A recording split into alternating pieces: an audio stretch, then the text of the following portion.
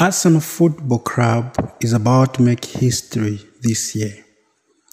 Fans and a lot of people they were not expecting this kind of football which is happening at Arsenal Football Club. A lot of people were doubting that Arsenal cannot reach or cannot be at the top of the league since the beginning of the season. Do you guys think that Arsenal is going to win the Premier League?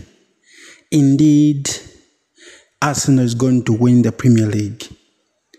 Arsenal is going to win the Premier League in the case of the way of their playing styles is different from everyone. As you've seen that Man City have been crushed.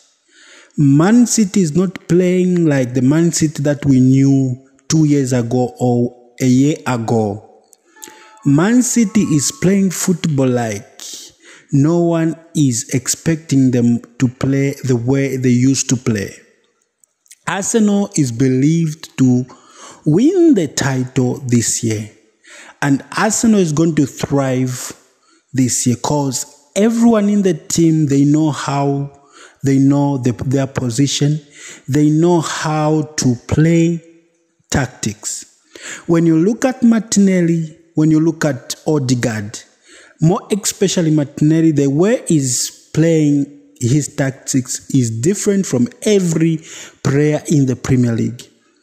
He can is playing three numbers in the Arsenal team.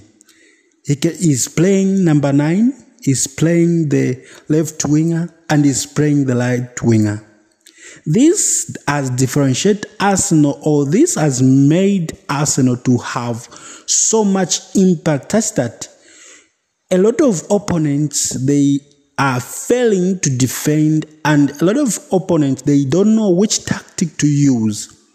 The only team that managed to hold on their tactics is Newcastle and Soton. These guys they studied Arsenal's playing tactics accordingly and they spied the Arsenal tactics.